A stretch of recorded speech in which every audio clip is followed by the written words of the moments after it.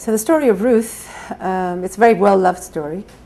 Um, I, take, I take the narrative of Ruth as very largely in confrontation with a sense of law.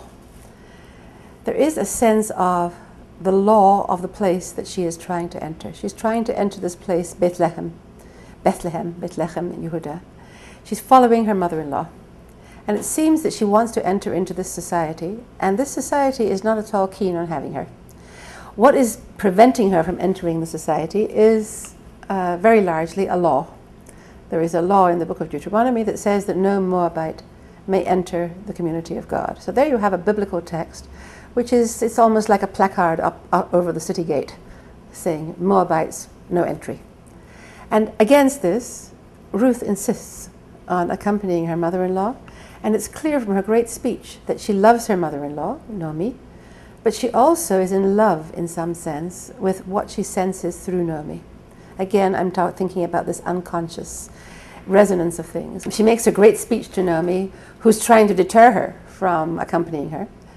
And she says to her, Wherever you go, I will go, and wherever you spend the night, I will spend the night. And your God will be my God, and your people will be my people. And where you die, I will die. What is she saying in that great speech? She's actually saying, I don't expect any benefits from this. I don't expect to find a husband, another husband. I don't expect to find the normal satisfactions that a woman of my age might be looking for. What I want is you and what I sense through you, your God, your people. And that means, in a sense, she's being quixotic. She's giving up any real prospect of a future in order to follow a sense of something unknowable, something that she can't quite put her finger on, that belongs to her, that she feels she's returning with Naomi to a place where she never was. So she's returning to a place where her soul feels that it will find what it needs. And that sense of things acts against the force of the law. The law comes out against her and really bars her. When she comes into town, no one pays any attention to her. It's as if she, she doesn't exist at all. And when the, her relationship with Boaz begins to, to develop, the way she makes it happen is, I think, simply by the courage and the imagination of what uh, is called the, the, the, quality of chesed.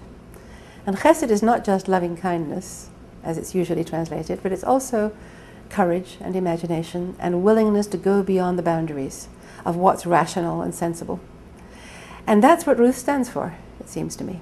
She takes her chances. The, the, the, the text actually uses that word. When she comes into Boaz's field, chance so willed it, vayikar mikreha, that she came into Boaz's field. That she didn't really know she, where she was going. She, did, she didn't have her sights on where it would be economically most, most profitable for her to try to glean in the field.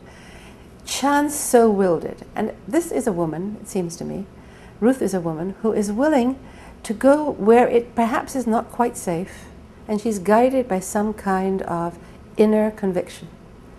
That's the only way to account for it. We don't know what she looks like. She has no, there's no reference to her beauty, which is very unusual. Uh, biblical heroines are always beautiful. Um, but she is not described as beautiful.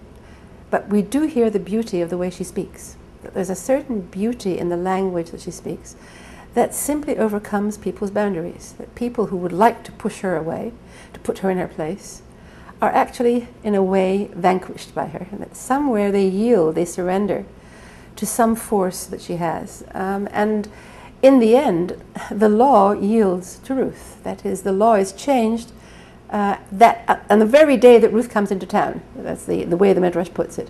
To allow for a female Moabite. Male Moabites are barred, but female Moabites are now allowed.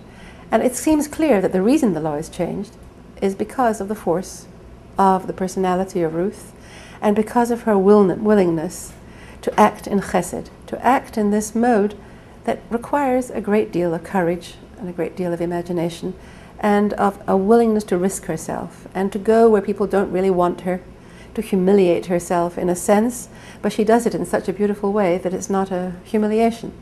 And in the end, of course, she becomes the great grandmother of King David, who saturates God with songs and praises. That's the meaning of her name, Ruth root, rivehu. Root means to, to drench or, or to saturate. meaning in some way that her great grandson David, who is so famous for his Psalms, who is he in the very core of his being? He is Ruth. It's Ruth who has unfolded into, into the songs of David.